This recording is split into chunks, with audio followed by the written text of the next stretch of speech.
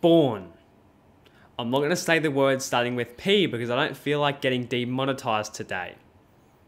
But born has changed and will continue to change a whole generation's life. Young men, young teenagers, even women, even kids as little as 10 years old are getting affected by this. And it's only getting worse by the day.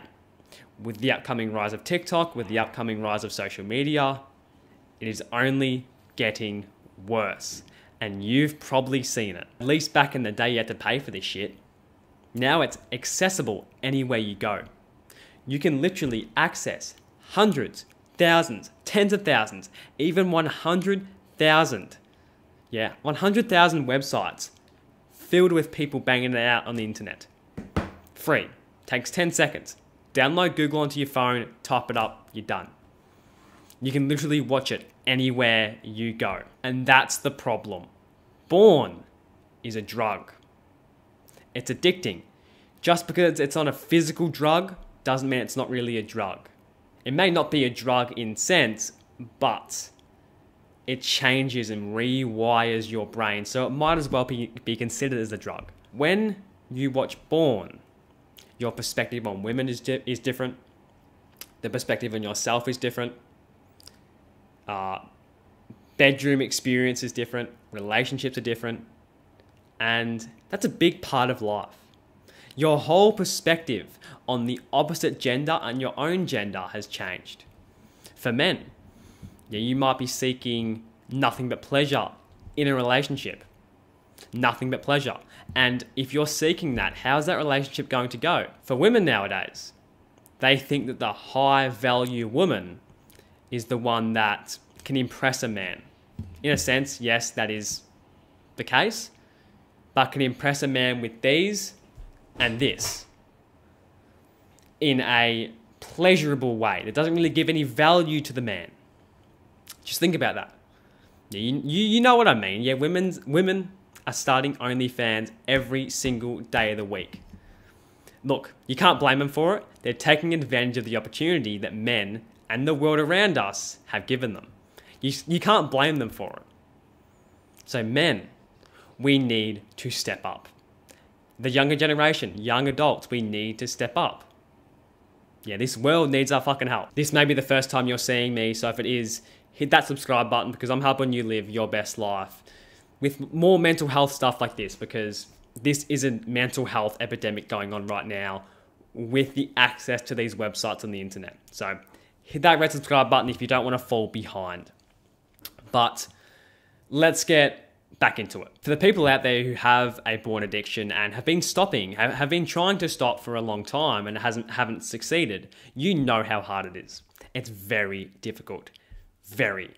And that's why I consider it a drug, and a very harmful drug at that. It's not just an addiction that wastes your time. As I said, it changes your perspective on yourself, your perspective on women. Yeah, and on yourself. You know, like inside, you know that you shouldn't be watching it. Inside, you know that it is a guilty act. You know you're a low value human being when you watch that, and especially when you ejaculate to that. You know you are being a low value human being. You know that. You might be saying, oh, it's normal, but that's just to cover it up. That's just to cover up your guilt. It's normal. Everybody does it. That's to cover up your guilty act. You know it's low value. Yeah, you know inside of you that you get no women. And the only way you can enjoy that pleasurable activity is by doing it by yourself. I needed to tell you that. You know, I needed to tell you that. The only reason you do it is because your life isn't fun enough in a good way. Your life isn't enjoyable enough. So the only enjoyable part of your life is that two second pleasure you get from ejaculating. Because again, that that feeling you get from watching Born is a very good feeling, yes. But it's the number one source of instant gratification. And instant gratification does not get you really anywhere in life. Nowhere. Yeah, young adults, teenagers, as I said, even as little as 10 years old, are getting addicted to instant gratification. Yeah, you see them, they wake up, they may go outside for a little bit, they may go to school, They may go to school and then they come home, sit on the PlayStation for the rest of the day, maybe jerk off two or three times, and that's the end. No action, no planning, no goals, nothing. That is the instant gratification world. I know some of you may disagree with me on this one, but I feel like instant gratification is the main cause of depression. I may not be right with that because I'm no psychologist and I'm not going to say I'm right, but I feel like it is. And born is at the center of that. So, Jak, you're explaining all of this, but how do I stop? Okay. I'm not going to tell you cold showers. I'm not going to tell you journaling. I'm not going to tell you do push ups when you get an urge. I'm going to tell you to find out why you do it. If you do it to escape, let's say, the stress of school, the stress of work, what is that stress? What is causing that stress? It might be because you have toxic friends. That might be the root cause of it. And maybe if you eliminate those toxic friends and try and find a better friend group or start working on yourself and your own mental health, maybe your porn addiction will go away. Fuck it, there you go, YouTube. I said the word, demonetize me. I don't really care. Well, I do, but anyways, that may be the root cause of it. It may be. You must find why you do it. It may be because your life is that boring. The only exciting part of the day you look forward to is that two seconds of pleasure. Is looking at that half, I was about to say half naked woman, naked woman on the internet. You must identify that.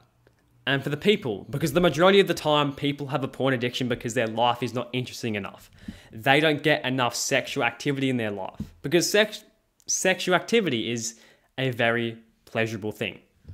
i am a virgin. I've never had sex in my life. That doesn't bother me. I'm only 16 years old. But I know how good ejaculation feels. Everybody does. Nearly everybody does. But off topic, you need to make your day to day life, your morning to night, more interesting than watching those dirty websites. Yeah, your life must be that good or on the way to make it good that you don't even have time and you don't even think about watching those websites because you know how harmful it can be. Let's say you started building new habits into your life.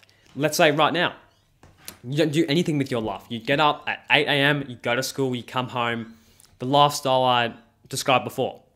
You come home, you play video games, you eat Doritos, and you go to bed. That's it.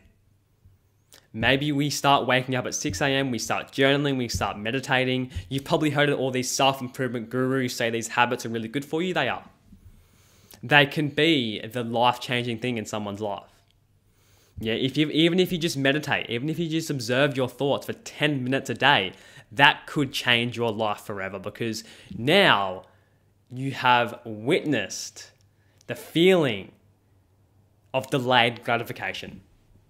You may work out for 10 minutes. You may exercise for 10 minutes. You may go for a walk. You may go for a run. Now you have witnessed how that makes you feel. Me, I can personally say to myself, I am addicted to improving to improve my life.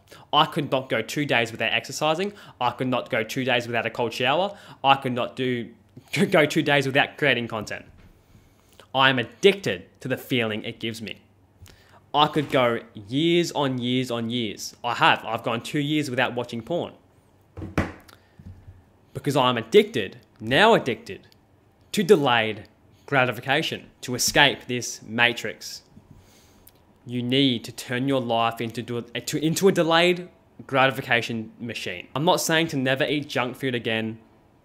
Of course, some sort of pleasurable and instant gratification activity is good for you to an extent. But your main goal, especially as a young person, because I know a lot of young people watch my videos because I'm young myself, try and turn your life, try and be addicted to delayed gratification. And I guarantee you, your physical health, your mental health, your spiritual health, even your financial health will improve. But with that being said, if I were to sum up the video in one sentence, it would be this. The sooner you surround yourself, your life, with delayed gratification, the better your life will be. That is the way you are going to quit watching porn. Replace it with a reasonably enjoyable delayed gratification activity. And the more you fail, the more you learn because you will fail. You will. You may relapse on a 500 day streak, whatever, it may happen. But as long as you are learning from every single failure, you will succeed. And the more you want to succeed, the better you will succeed. Simple. Watch that a minute of me talking again, please. I want you to hear that again. Rewind it, watch it again. It's very important of what I just said there. With that being said, that is the video. Maybe this video wasn't enough for you. That's okay. I have now launched one on one coaching for people who are interested. Some people are interested, and maybe these videos are enough. That's completely fine. But the, for the people who do want to take that step, I can be that person for you. I can guide you, I can give you the right guidance, and we can improve your life, we can improve your mental health together. So let's go, let's schedule a call down below, completely free. But of course, if you do decide to work with me further from this call, it will be paid. So if you are serious, let's talk down below, let's chat, let's have a good discussion on how we can improve your life. But again, with that being said, that's the video. Hope you guys did enjoy it, and I'll see you in the next one. Peace.